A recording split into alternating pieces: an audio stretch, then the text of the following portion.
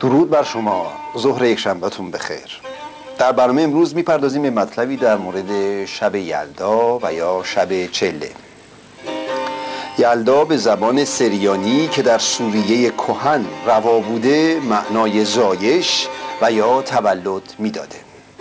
ایرانیان نخستین شب زمستان هر سال را که درازترین و یا سیاهترین شب سال است جشن می‌گیرند و به آن شب چله و یا شب یلدا می‌گویند. انگیزه این که چرا این شب را شب چله مینامند از آنجا میآید که ایرانیان کهن دو ماه دی و بهمن را سختترین ماه سال از جهت سردی مینامیدند. و آن را به دو بخش تقسیم می کردند چهل روز نخست که چله بزرگ نام داشت و شبها و روزهای پس از آن که چله کوچک نامیده می شد چله بزرگ از یکم دیما آغاز می شد و در شب دهم پهمن پایان می گرفت از این رو ایرانیان بر این عقیده بودند که با پایان یافتن چله بزرگ به راستی کمر زمستان خواهد شکست و به خاطر این انگیزه جشن صده و یا جشن آتش را در روز دهم بهمن برگزار می کردند. از دهم بهمن تا یکم اسفند را چلی کوچک می نامند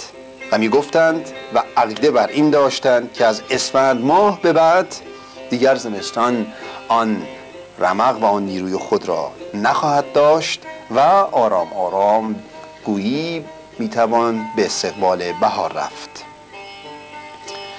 ایرانیان کهن بر آن بودند که شب چله با خورشید و مهر پیوندی نزدیک دارد و در فرهنگ آریایی شب چله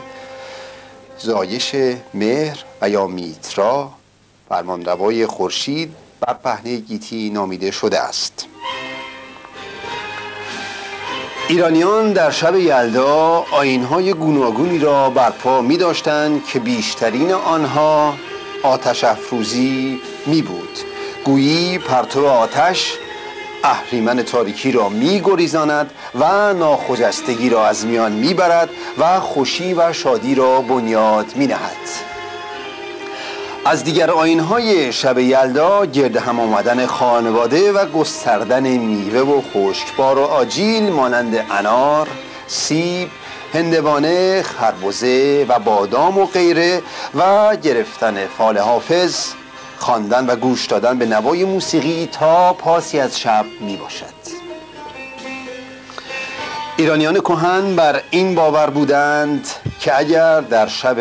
یلدا برف و سرمایه سخت ببارد در پایان زمستان هوا خوب خواهد بود و بهاری بارور در پیش خواهد داشت. نقل از کتاب جشن ایرانی نوشته ناصر انقطاع.